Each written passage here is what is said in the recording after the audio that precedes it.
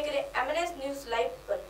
खबरों की ओर रुख करने से पहले मैं आपको बता दूँ कि हम वही खबरें आपको दिखाते हैं, जो खबरें आपको जानना ज़रूरी है, क्योंकि सच ज़रूरी है। पाकिस्तान के पंजाब प्रांत में सिलाई कोट स्थित सवाला तेजा सिंध मंदिर पहली बार खोला गया है।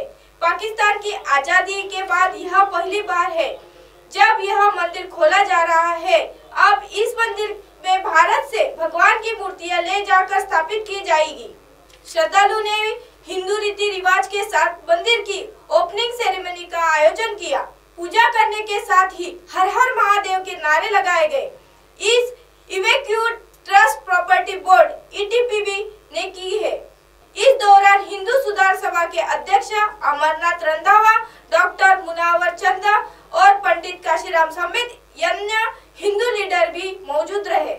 एमएनएस न्यूज़ लाइव की खबरें देखने के लिए से एमएनएस हिंदी ऐप्स डाउनलोड करें और हमारे चैनल को सब्सक्राइब करें। धन्यवाद।